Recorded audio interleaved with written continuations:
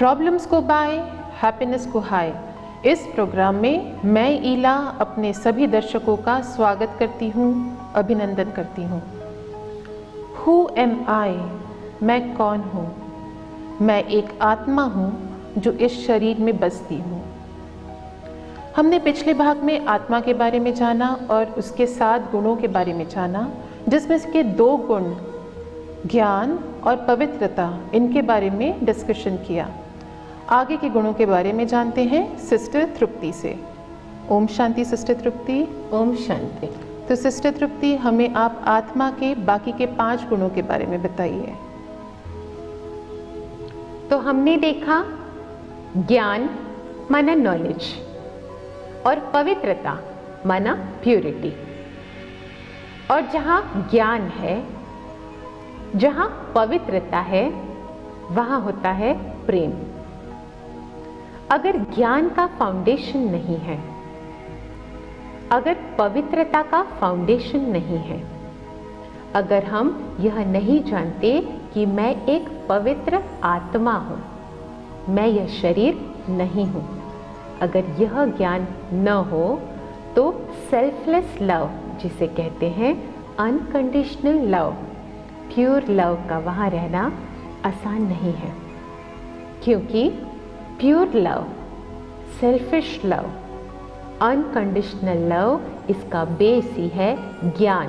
माना, मैं आत्मा हूँ, पवित्र आत्मा हूँ। जब यह निश्चय हमारे मन में बैठता है, तब हम सामने वाले को एक आत्मा के फॉर्म में देखते हैं और जब हम एक दूसरे को आत्मा के रूप में देखते हैं तो आपस में सेल्फलेस लव यूनिवर्सल ब्रदरहुड की भावना डेवलप होती है।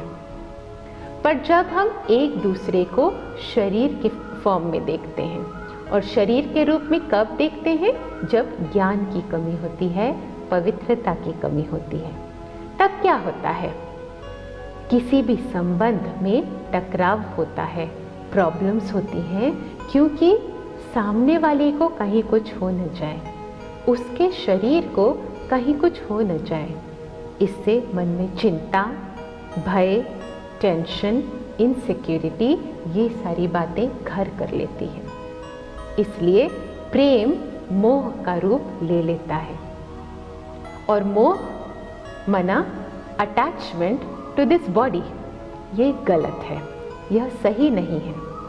पर प्रेम, प्यार, आपसी भाईचारा आत्मा का, आत्मा के प्रति प्यार, यह पॉजिटिव है।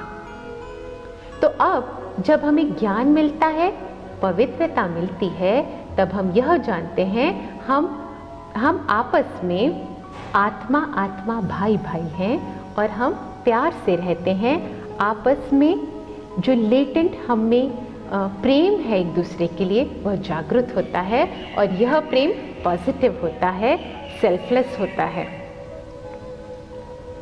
अभी हम देखें तो हम आपस में किस प्रकार का प्रेम करते हैं। मंदिरों में भी जाते हैं, कहते हैं, भगवान से हमें प्यार है। तो भगवान के साथ भी हम कैसी बातें करते हैं? भगवान तो कहते हैं, भगवान, मुझे अगर एग्ज़ाम में पास कर दोगे तो दो नारियल चढ़ाऊँगा। अगर मेरी फ़र्स्ट रैंक आई तो चार नारियल चढ़ाऊँगा। मना हम भगवान के साथ भी क्या कर रहे हैं? सौदेबाजी तो नहीं कर रहे। तो क्या इसे सेल्फलेस लव कहा जाएगा? तो अभी ज़रूरत है आपस में सेल्फलेस लव की। ज़रूरत है अनकंडीशनल लव की। वो तभी हो सकता है जब हमें यह ज्ञान हो कि सामने वाला आत्मा है, पवित्र आत्मा है he is a pure soul और तब वह लव की भावना, जो कि सुप्रीम पावर है, जो कि सुप्रीम गुण है हमारा, वह डेवलप होता है।